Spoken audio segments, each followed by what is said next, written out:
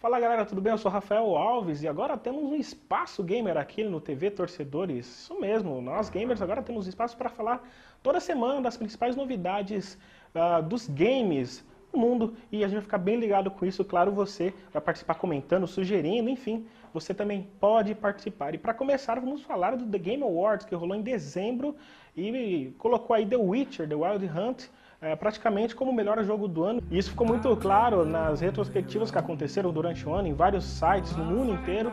The Witcher realmente é, agradou aos críticos e aos fãs. E com isso ficou com duas premiações. Além de ser eleito o melhor jogo do ano, também ganhou na categoria RPG. Quem se destacou também foram dois jogos, é, um deles independente, que sinceramente me surpreendeu, foi Rocket League, o jogo uh, produzido pela independente Psyonix, é, conquistou o título de melhor jogo independente. Até aí tudo bem, mas aí na categoria esportes e carros surpreendeu, batendo o NBA 2K, inclusive o Forza Motorsport 6, ganhando também a segunda, é, a segunda premiação, ficando aí com duas, é, com duas premiações nessa, é, nessa cerimônia que rolou no dia 3 de dezembro.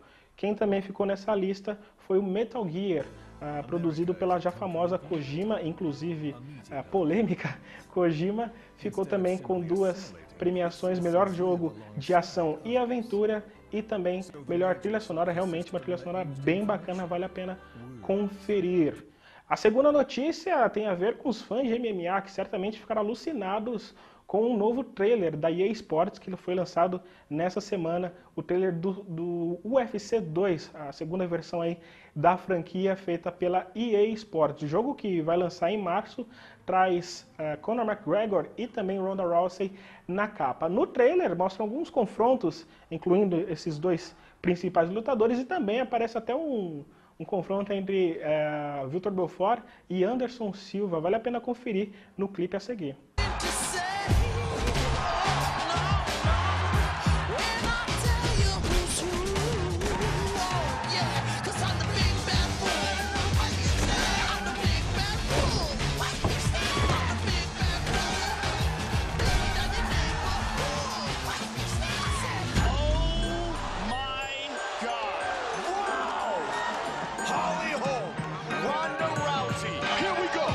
A única notícia ruim vai para os nossos bolsos. O jogo vai chegar ao Brasil ao preço mínimo de 240 reais, podendo ser comprado até por 280 reais.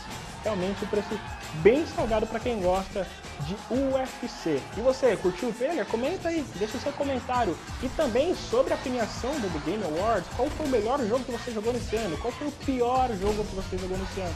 Comenta aí semana que vem, a gente vai ler algum desses comentários, beleza? Então esse foi o primeiro Torcedores Play, a gente espera ter outros. Para isso, a gente precisa do seu feedback. Clica no joinha aqui para saber se você curtiu também, para a gente saber se a gente pode fazer mais. E com certeza a gente vai fazer. E não deixe de se inscrever também no torcedores.com, além de ficar informado pelas principais informações do esporte e também dos games no Brasil e no mundo. Só clicar aqui torcedores.com. Nos veremos semana que vem. Valeu!